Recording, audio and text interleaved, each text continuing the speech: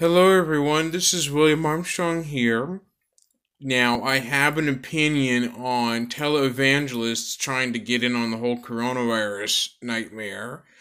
Um, all I'm trying to say is if televangelists are trying to cure people of coronavirus, then the, excuse my language, but then the televangelists are fucking morons because they're trying to cure people of coronavirus when in reality the televangelists are promoting snake oil. It's like I've done a previous video on Jim Bakker, B A K K E R. Due to double K's in his na- last name, I cannot pronounce it correctly. It pronounces B A K E R.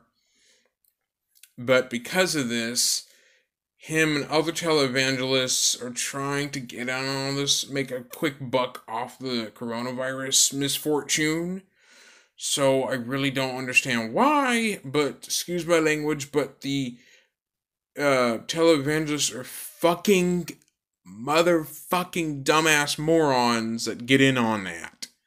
Excuse my French, but it's the truth that I'm having to say. It's the truth for me in my view. My views and opinions don't reflect or express others. It's just my opinion and my view on it.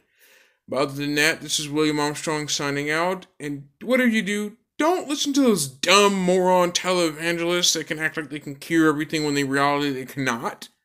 Unless the televangelists like Peter Popoff and others are some kind of alien from another planet or a not human being or something like that.